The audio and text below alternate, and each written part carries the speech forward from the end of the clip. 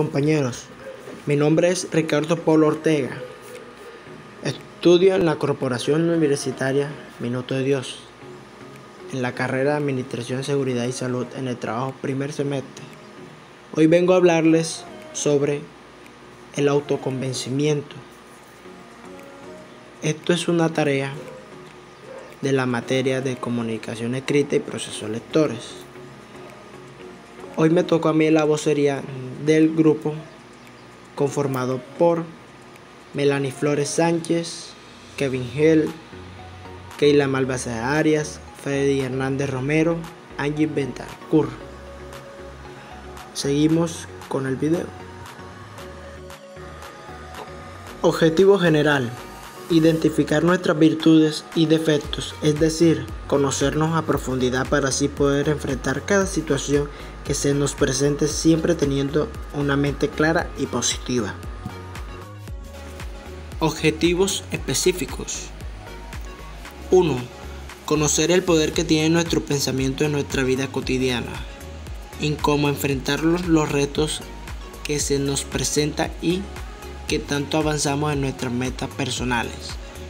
2. Tener presente las siguientes afirmaciones. Si puedo, es posible hacerlo, puedo cambiar, lograré hacerlo, puedo conseguirlo, si me empeño podré. 3. Idear formas de motivación personal o de autoconocimiento para así tener una mejor perspectiva de nuestra vida. Introducción. El autoconvencimiento es básicamente la reflexión y o introspección es decir, se trataría de conectarte con tu yo y empezar a invertir tiempo en conocerte. Empezaría por preguntarte quién soy. Esta es la pregunta que va a ayudarte a tomar conciencia sobre ti, a reflexionar acerca de quién eres y qué quieres para tu vida. Saber entender nuestras emociones, defectos, cualidades y problemas en cualquier contexto ya que es muy importante para nuestro desarrollo personal y poder así conseguir nuestros objetivos. Discurso. El autoconocimiento. En mi mente soy siempre el mejor, no me importa lo que la gente piense de mí. Cristiano Ronaldo dos Santos Aveiro, 28 de agosto de 2014. El autoconvencimiento, esa pequeña palabra es la fuente de fuerza que necesitamos a diario para saber si, qué quiero para mí, en mi presente y futuro. Cuando logro conectarme conmigo mismo y conozco mis fortalezas y debilidades, sé hasta dónde quiero llegar.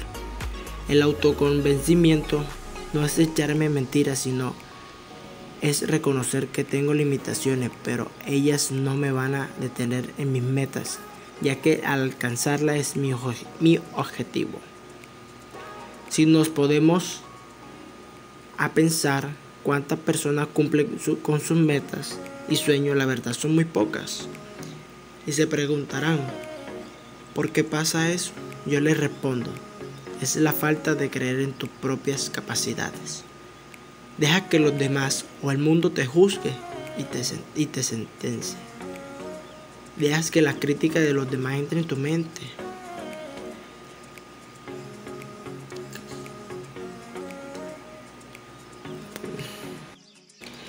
¿Qué es la fuente de vida diaria para seguir? Si tú no te conciencia y no crees en ti y decirte a ti mismo, mirarte a un espejo y decir la siguiente palabra, sí puedo realizar esta actividad, mis metas, sueños, y creer en lo que lograrás. El autoconvencimiento es poder, pero antes de adquirir ese poder, tienes que conocerte a ti mismo, autoevaluarte. Mira desde tu pasado y presente buscando el motivo de por qué dudas o puedes. Identificar nuestras emociones y nuestros patrones de comportamiento. Saber cuáles son nuestros valores y si estos son inalterables. Todo esto requiere una reflexión interior mediante alguna técnica como la meditación. También hay que tener conversaciones interiores con nosotros mismos. Estas conversaciones se deben hacer mediante preguntas poderosas que nos hacemos a nosotros mismos para poder sacar conclusiones importantes, al igual que mantenernos conversaciones poderosas con los demás.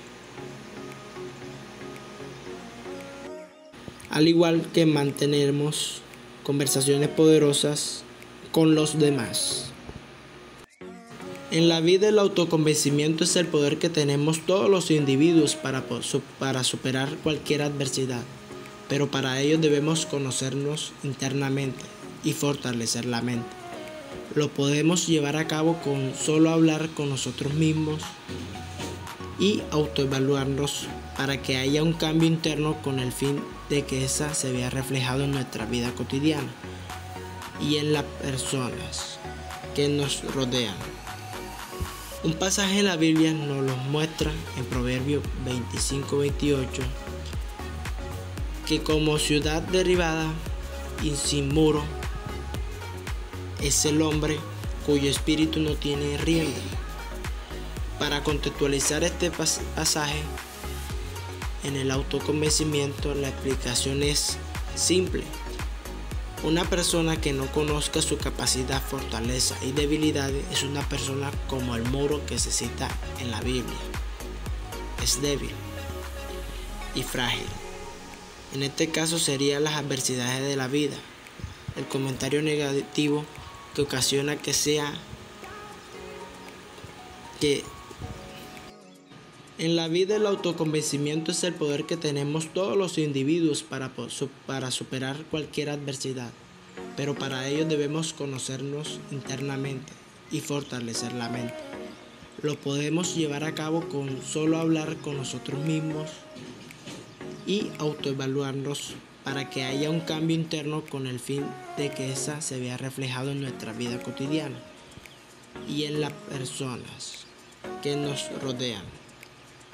Un pasaje en la Biblia nos lo muestra en Proverbios 25-28 que como ciudad derribada y sin muro es el hombre cuyo espíritu no tiene rienda.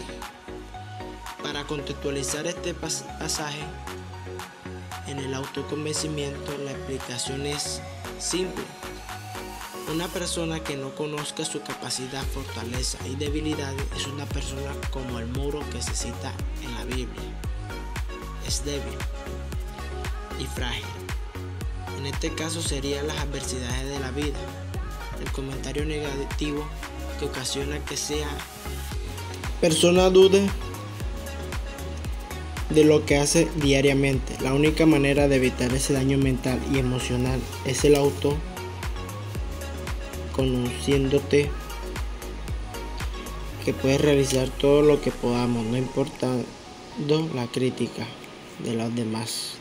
Tienes que desarrollar el interior con los pensamientos positivos y con gran fuerza.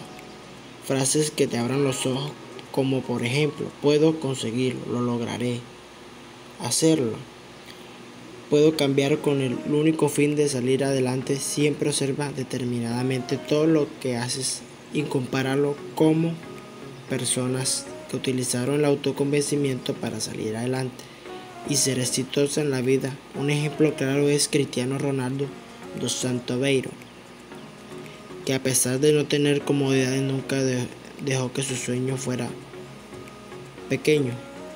Haz lo mismo, sal de tu zona de confort Autoevalúate, mírate internamente y saca esa mejor versión de ti que vale la pena mostrar.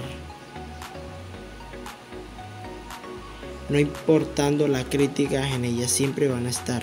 Lo importante es que no dejes que ellas lleguen a tu mente. Tu propio autoconvencimiento te mostrará que el camino que elegiste es el correcto.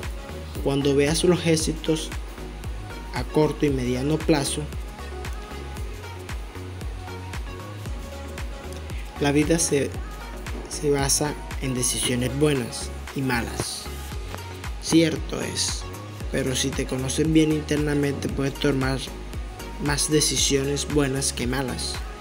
El autoconvencimiento nos muestra que cuando un individuo se conoce perfectamente es capaz de demostrar que en lo que nos muestra que cuando un individuo se conoce perfectamente es capaz de demostrar que en lo que se desempeña lo hace de manera correcta y clara, con el único fin de mantener una mentalidad sana y positiva para asumir los retos que le depara la vida. Es importante entender que todo tiene un proceso y que si nos convencemos de que podemos lograr las metas, podemos llegar a romper los límites mentales y que la sociedad misma ha establecido. Poco a poco iremos logrando todo y cuando estemos en la cima entenderemos lo importante que fue el esfuerzo mental y físico. Esfuerzo, dedicación y paciencia son las tres reglas que debemos tener en cuenta para poder cumplir sueños, metas y propósitos establecido al principio de nuestra vida. Vivamos la vida y disfrutemos las experiencias obtenidas. Muchas gracias a todos y que tengan una excelente noche.